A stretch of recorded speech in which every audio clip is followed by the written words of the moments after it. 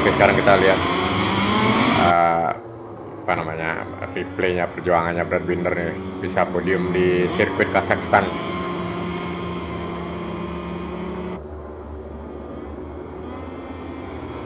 Kayaknya KTM kurang cocok sirkuit begini.